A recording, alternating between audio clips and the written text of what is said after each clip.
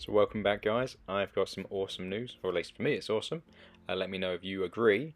The new range for epic battles is Rome and the ancient world, the Punic Wars to be specific.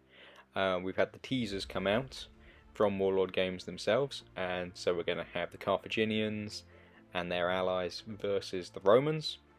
Um, so this is really cool for me. Uh, for the last year or so I've been wondering what the next ones are going to be. Um, was it going to be another Black Powder? Was it going to be Middle Ages? Was it going to be Ancients? And they've gone for the Ancients, which is awesome. Um, it's going to really allow, I think, them the opportunity to probably, depending on how it goes, expand out into uh, the wider area, potentially do Persians and Greeks and whatnot. But just looking at the miniatures, they look really cool. And the elephants, I mean, they look awesome. So I'm really excited by this. Uh, I mean, you obviously got a little Roman commander there, although I would have thought he looked slightly more like Hannibal rather than a Roman. Um, so yeah, maybe I'm mistaken. But yeah, you've got uh, the Roman equites, the cavalry. You've got the legionaries in their blocks or the maniples, uh, which look pretty cool. It seems like they've gone and put three ranks instead of the two that we're used to uh, which is quite cool, I guess, for when you're talking about sort of blocks of massed infantry. Um, although looking at the images, I'm not sure if that's the case for the Carthaginians and or the Celts or Celtic tribes. It might just just be the Romans, which, yeah, I mean, looking on, yeah, I think it's just the Romans, but that's quite an interesting move for them. But the sort of Celtic, Iberian allies of Hannibal, they look really pretty cool, I think.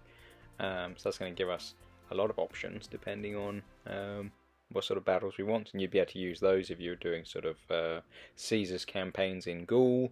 So they have a lot of options there, which is, I think, pretty awesome to be honest. Uh, I was hoping it was going to be this period. Uh, you've got lots of javelin and slingers.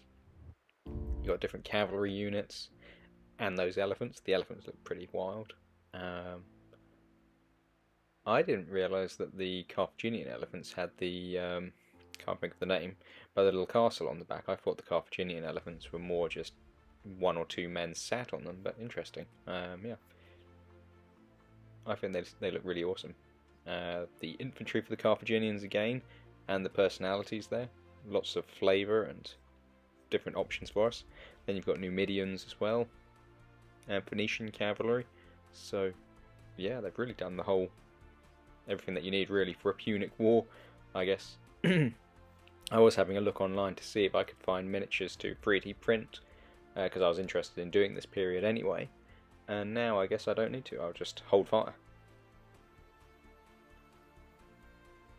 Yeah, the only thing I would say about the Romans, perhaps they will bring some out later, is that um, historically you had the uh, Triarii, who were the elites, or the most veteran, uh, then it was the Principe and the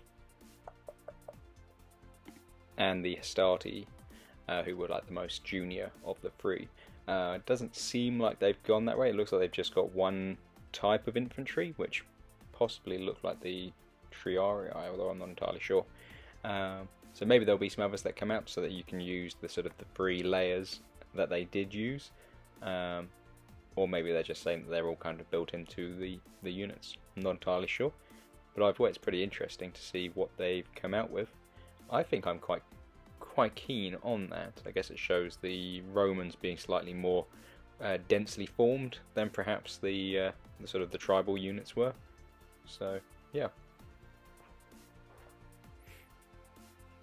But overall, I am very happy with it. Let me know down below what, what your thoughts are. Do you think these miniatures look good? Do you think you'll be interested in getting into it? Um, I know I am for sure, but yeah, interested to know what you guys think.